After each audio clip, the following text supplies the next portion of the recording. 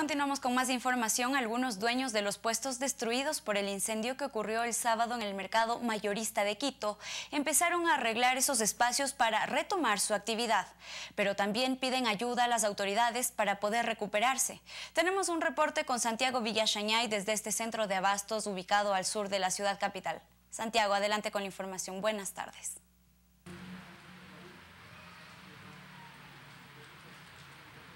Un gusto compañeros, muy buenas tardes. Estamos acá en el mercado mayorista, en los sectores que el día sábado fueron consumidos por las llamas en el incendio que se presentó desde las 2 de la tarde y que dejó con grandes pérdidas económicas a 28 eh, dueños, comerciantes, justamente que tenían, que trabajaban acá vendiendo productos, frutas. Acá está María José Llanes, una de las afectadas, que en este día trata de recomponer el espacio, lo ha limpiado para seguir trabajando acá, más allá del riesgo que puede representar, o que ustedes quizás ya lo evaluaron también. Así es, nosotros a pesar del riesgo que corremos, pues nos venimos a nuestros locales. Yo sé que de pronto es una ignorancia de nuestra parte, pero entiéndanos, debemos a las financieras, en las cuales ni en la pandemia tuvimos un poco de condolencia hacia lo que estábamos pasando peor aún con este siniestro. Ellos no esperan, los intereses siguen y créanme, estoy endeudada. Tengo mercadería que se incineró y lo que necesito ahora es con más ánimo y con más fuerza seguir y continuando en, en lo que es esto mío, el comercio.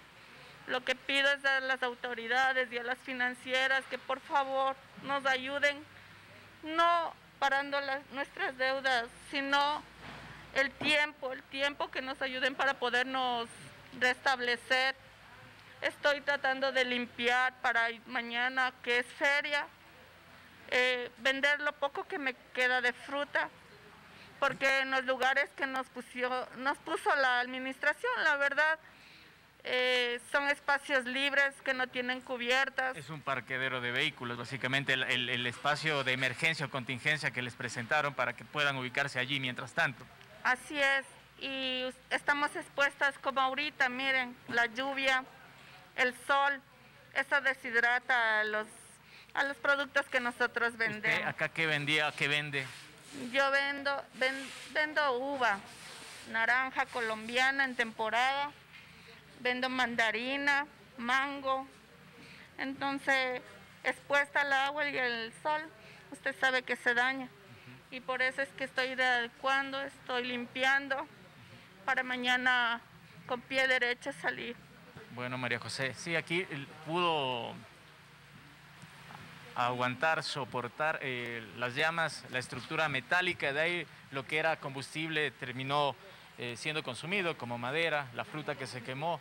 Acá ya ha sido limpiado todo porque acá la gente tiene que seguir trabajando, no puede parar la actividad y solamente pide ayuda, colaboración de la autoridad, de la gente que pueda prestar la mano, también la gente con la que se mantiene deudas desde las entidades financieras, que vean sus casos en cuanto a deudas que puedan estar teniendo estas personas que han sido afectadas. Compañeros, ustedes continúan.